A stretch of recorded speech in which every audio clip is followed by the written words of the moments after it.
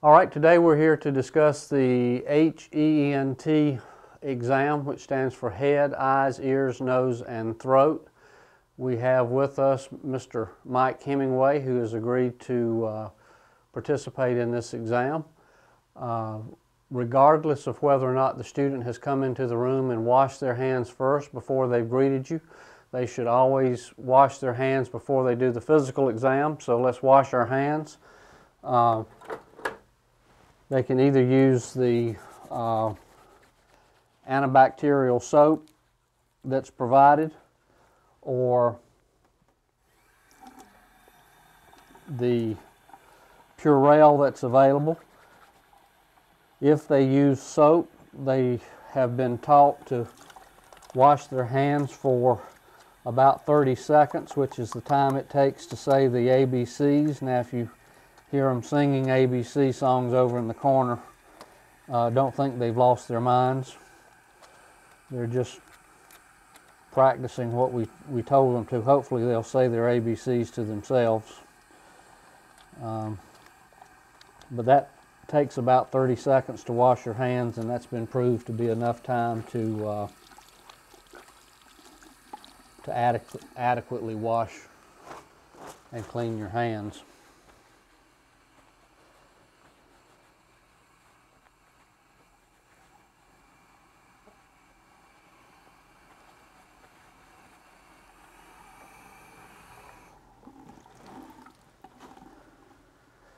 They should have already introduced themselves to the patients, but uh, the proper introduction is Mr. Hemingway. I'm Steve Williams. I'm a first year medical student at uh, Mercer University School of Medicine.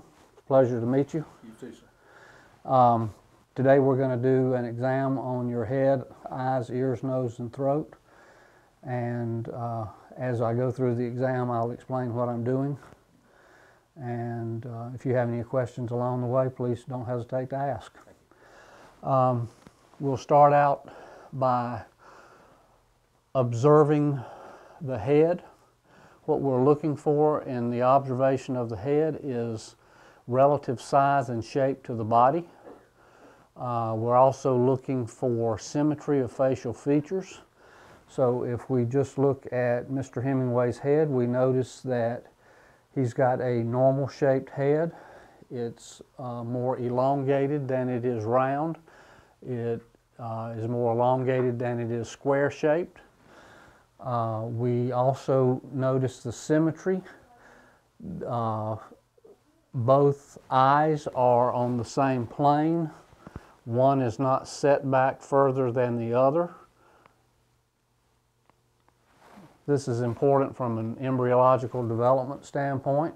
We notice that his nose is normal shaped and sized. There's no flaring of the alae nasi, so he's not having any respiratory problems. We also notice that the nose is midline, doesn't appear to have been broken or anything. So uh, the observation of the head is looking good. We notice that if we look at his eyes, there is adequate space for one more eye between the two, which is normal. That's what it should be like. If the eyes were further spaced apart than that, that would be abnormal. If they were closer together, that would be abnormal. I can get you to turn your head slightly. We also notice if we look at the epicanthal fold, which is the corner of the eye, and we draw a line straight back, the top of his ear is above that, that's a normal finding. If the top of his ear would, were below that, that might correspond to some neurologic abnormalities. Okay, thank you. The next thing that we're going to do is palpate the uh, scalp and look for any evidence of trauma. We'll be feeling for bruises, bumps, lumps, or any signs of infections. Uh, we'll also be looking at the hair and noticing the color and the texture. Um, I generally start at the back and just gently palpate.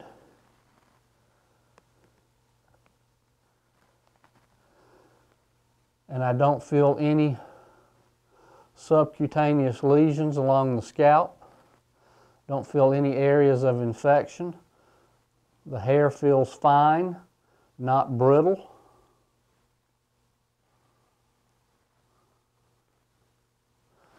And I didn't feel any muscle wasting or anything of that nature to make me concerned about uh, chronic diseases. Uh, the next thing that we're going to do is move into the eye exam now that we've completed uh, the general head exam. When we start with the eye exam, we're going to start with the external exam. We've already begun that exam just by observation that the eyes were set reasonably apart. The next thing we're going to do is notice that the sclera or the white part of the eye are in fact white. Uh, they're not blue, they're not yellow, uh, which would indicate other disease problems. We notice that the irises are bluish green. Uh, the pupils, which are the center of the eye, are dark as they should be. There are no flecks or abnormal rings in the irises. Um, the next thing we're going to do is look at the conjunctiva. Uh, and we do this by pulling down on the lower lid and look at the white area of the inner eyelid. We notice that there is some redness to the inner eyelid, but that is not abnormal. Uh, if it were infected or there were an allergy, it would be quite bright red, would have a lot more blood vessels involved, and there might be blood vessels moving up along into the sclera. The next thing we're going to do is check for extraocular eye movements. Now there are two manners that we can do this. One is called the H type, the other is the X type. We'll demonstrate the H type first, where we ask the patient to look at our fingers and without moving your head, follow our fingers. So we move in one direction parallel, up, down, come back to the center, come across, up, down. Then there's the X type, where we start in the center, move in one direction, come down to the other, back to the center, down to the other, then out. This checks the cranial nerves 3, 4, and 6, and so we notice that all of his eye movements were normal. The next thing that we're going to check is cranial nerve 2, which checks for our optic nerve function, and we do this by looking at pupillary constriction. Now, normally what we would do is we would have the room darkened so that we could see the pupils better because as the room is darkened, the pupils are going to dilate. Since we're taping this and we need all the light we can get, we're not going to turn down the light, but I'll just describe what we're going to do. We're going to use our ophthalmoscope. And if you can see here, there's a light on my hand, and we can see this. We're going to ask the patient to stare straight ahead. And I'm going to shine the light initially in his right eye and observe his right eye. And what we would normally see is constriction of that right pupil. That's the direct response for the pupil. We're going to repeat that same maneuver, shining the light in the right pupil, but this time I'm watching the left pupil. That would be the consensual response of the left pupil. We should see it dilate as well. Then we're going to repeat this same exercise on the left side, shining the light in the left pupil watching that pupil constrict, that would be the direct response. We'll give the, time, the eye time to reaccommodate. Then we'll shine the light in that left eye again, but this time observing the right eye and watching it constrict. Now, should there be a discrepancy between the two, it just need be noted. The next thing that we're going to do is a fundoscopic exam. Uh, for medical students, this is probably the hardest part of the physical exam that they have to learn. Uh, it is a difficult technique. It takes years and years and years of practice. Um, so uh, on this first exam, we really don't expect all of them to get this uh, precisely correct. But there are a few things that we want you to notice uh, while they're doing this exam. One is we don't want them starting three feet away. We want them starting about a foot and a half away. Two, when they're examining your eye and they're moving from this distance to this distance, you should notice a change in power of the ophthalmoscope as they change the diopters that they're using to focus on the back part of your eye or the retina. If they simply move from a foot and a half away to your eye, which would be six to eight inches away, and they don't change the power of the ophthalmoscope, the likelihood of them finding anything is really unusually rare. So we should be listening for the change in the diopters of the scope. So again, in order to do this exam appropriately, the lights need to be off. The gooseneck lamp, which is behind the patient, needs to be on just to cast, cast a little ambient light. Patient needs to be uh, asked to stare at st something straight ahead on the wall so that they're not focusing on your light. So Mr. Hemingway, if you'll find a spot on the wall straight ahead to focus on, we're going to start on the right side and when we do the right eye, we use our right eye. We start back here and I notice the red reflex, which is what we want to do. And then we move in, focusing on the retina. I can actually see his vessels they're, they're, they're small. Because of the size of the pupil, it's very difficult to see, get in to see the disc. Um, then we're going to move to the left side. Now this is the more difficult side, at least for me and, and most others, since most of us are right hand dominant we're going to use our left hand and this prevents us from bumping noses, kissing the patient.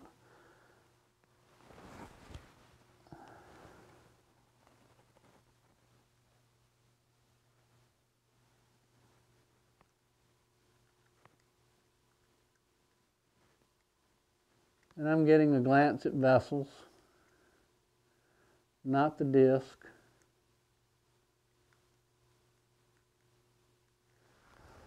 And that's about all I can see in this light since the pupils aren't dilated very much. Now, if the student were to ask you to look at the light, they are trying to visualize the macula, that should be very painful for you. If they tell you they saw the macula, that should also be very painful for you. If it's not painful, uh, then they probably have not seen the macula because that is the area of the most sensitive of our retina and it, it is painful when direct light is shined on it. The next thing we're going to do is move on to the otoscopic exam and to do that we're going to use an otoscope and this is an otoscope Notice that it's different from the ophthalmoscope. Always check to make sure the light is on. One of the problems that students have with otoscopes is that they tend to put the speculum on and not attach it. When you put the speculum on, you have to twist it to lock it in place. it will not come off. But you'll notice that in a lot of our novice students, when they take the otoscope away from their ear, your ear, they will leave the tip behind. And one of the most crucial things that we do when we examine the ear is we brace. In other words, we put our hands in such a fashion that should the patient move, uh, we move with them. In order to do an appropriate uh, ear exam, the ear has to be pulled back and up. Now, as a pediatrician, I was taught to brace against the temporal part of the head.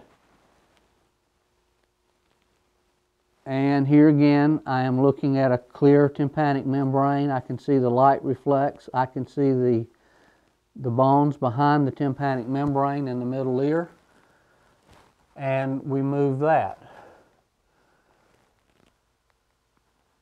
Most adults, when they're taught to do a uh, bracing technique, brace against the side of the face.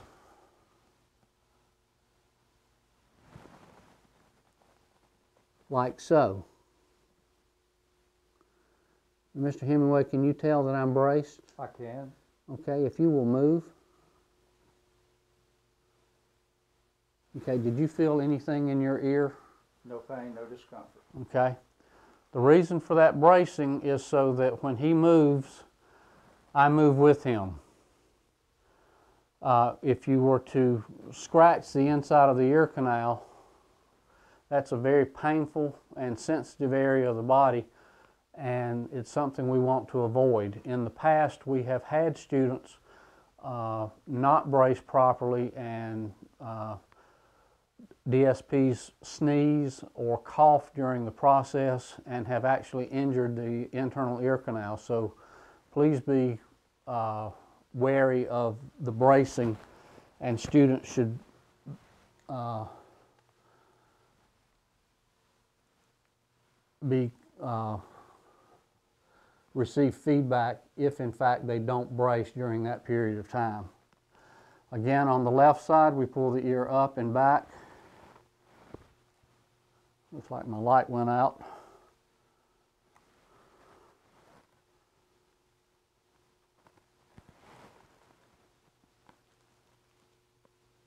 And we've got virtually the same exam on this side. That's the technique for bracing on that side.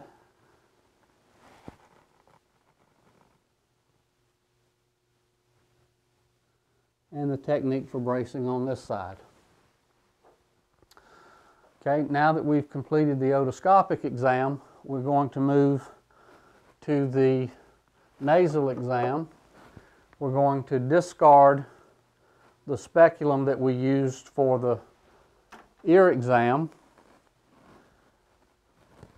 and we're going to use a new speculum for the nasal exam. Now one caveat to remember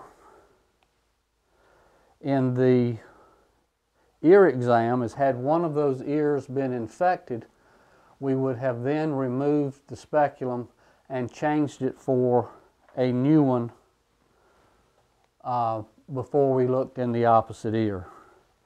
This applies also applies to the nose. If we examine one aspect of the nose that has a mucopurulent discharge, we change the speculum before we go to the other side of the nose. In order to properly examine the nose, we ask the patient to tilt their head about 45 degrees toward the ceiling. We insert the speculum on the lateral side of the nare to avoid the nasal septum. What we observe is pink mucous membranes, no boggy erythematous purple membranes, no polyps. We do that on the right side, then we move to the left side. Again, staying lateral. Lost my light source. This is a very sensitive otoscope.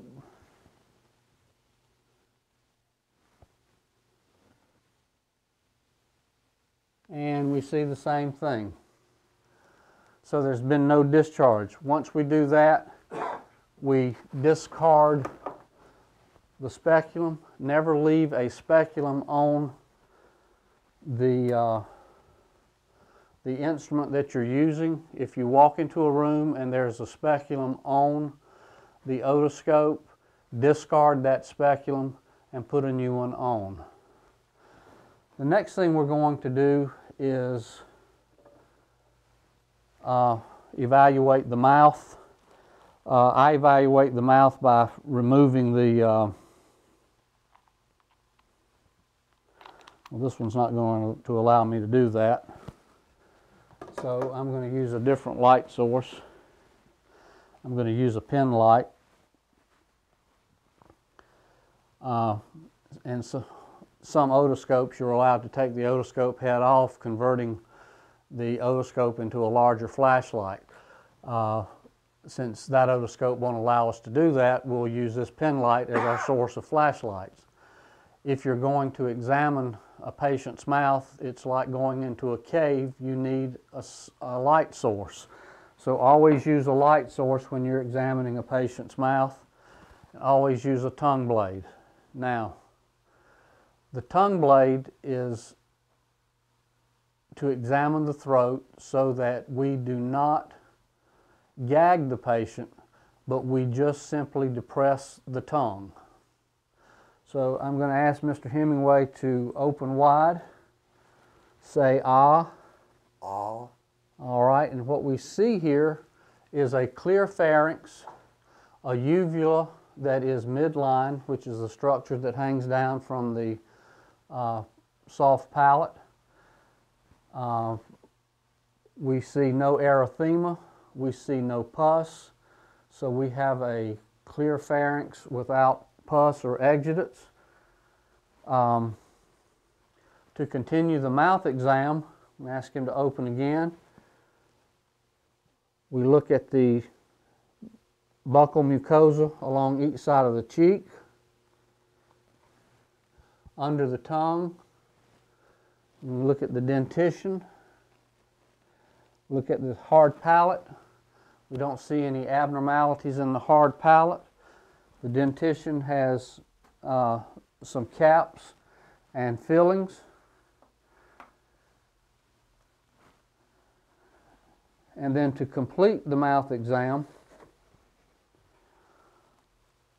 we're going to fully inspect the mouth. So I'm going to ask him to smile so that we can evaluate his teeth and his bite.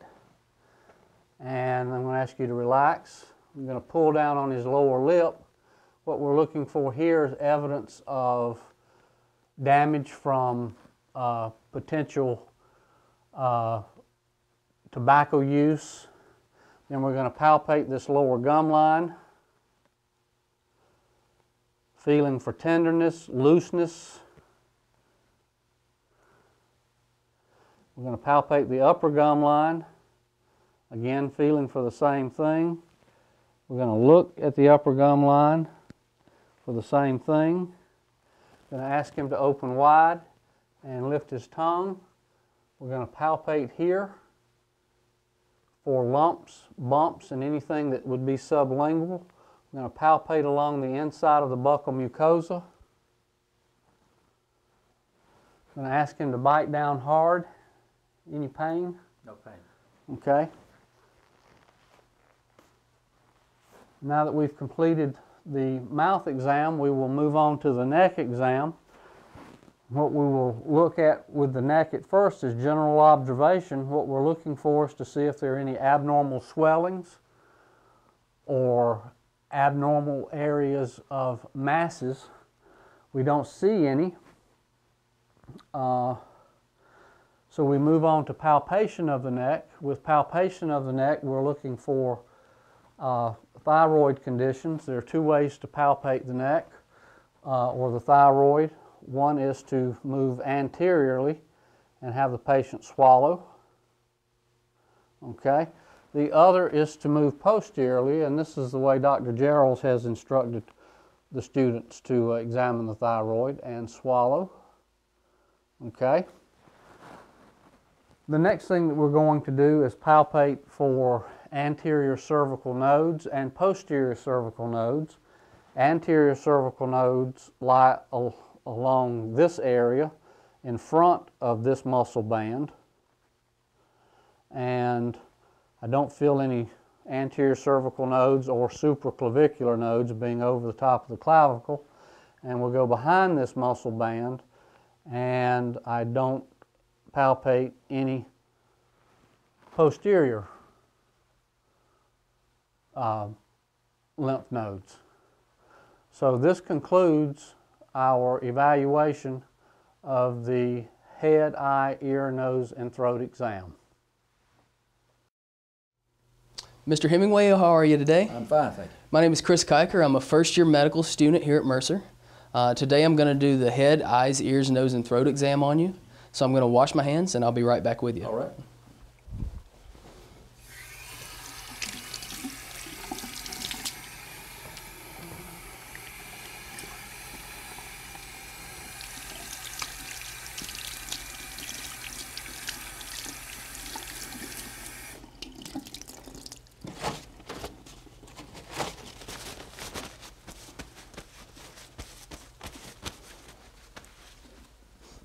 All right, if I can get the glasses from you. Sure. I'm going to start by doing a head exam. I'm going to feel for any lumps or lesions and just tell me if anything's painful. I'm examining your hair as well. Have you had any head trauma? No, sir. Okay. Now I'm going to examine your eyes and ears. Um, just looking for their symmetry, placement on your head. Everything looks great. All right. Do you have any sinus problems? No, sir. Okay. All right. So now I'm going to um, move into the eye exam. I'm going to start with the external eye exam. So I'm going to look for any abnormal redness, pussiness. Um, do you have any problems with your eyes? No, sir. Okay. All right, so now I'm going to turn the, the lights off and uh, do a few more procedures on your eyes. All right, I'm going to measure your extraocular movement. So if I can get you to just follow my fingers with your eyes, Okay. hold your head still for me. Okay. And I'm checking for your cranial nerves 3, 4, and 6 here. Everything looks great. Now I'm going to check your pupillary response. So just look straight ahead for me. And I'm just making sure that your pupil constricts on both sides equally. Perfect. Now I'm going to look into your eye. Just look at straight ahead for me.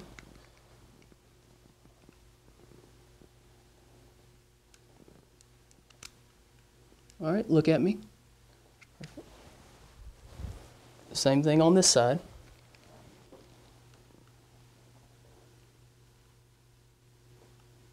All right, look at me. Perfect. Your eyes look good. And you said you haven't had any eye problems? No, sir. All right, let me turn the light back on. Now I'm going to examine your ear, look inside at your eardrum.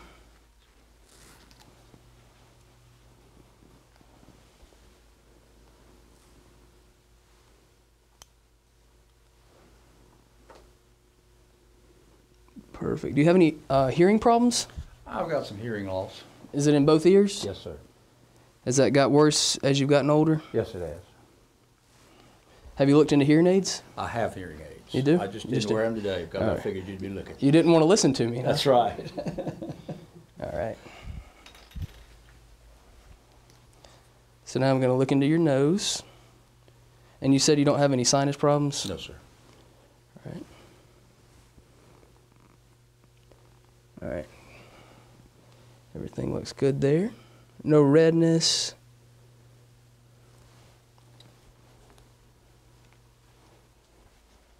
All right, so now I'm going to move into the mouth exam.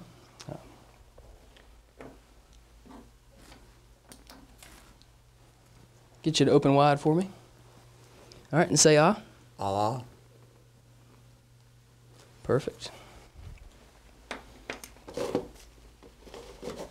Do you chew tobacco or anything? No, I don't. Do you smoke cigarettes? I haven't in 45 years. All right. I'm going to put on some gloves and feel around your mouth for a minute. Do you have any abnormal lesions or any pain when you brush your teeth? No, uh, sure don't. Okay. I get you to open wide again. And tell me if you feel any pain.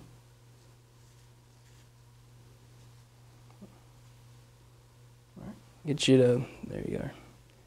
And poke your tongue out for me. All right. Everything looks good. All right, so now I'm going to examine your neck uh, and tell me if you feel any pain. You don't have any lumps or lesions on your neck, do you? Not that I'm aware of. All right. Get you to swallow for me. Fill in your thyroid there. All right, you look good. From my point of view, everything looks good. I'm going to go talk to my attending physician, and they'll be back in here to talk with you shortly. Okay. Pleasure meeting you, sir. Pleasure. Hmm? It's mine. Thank you.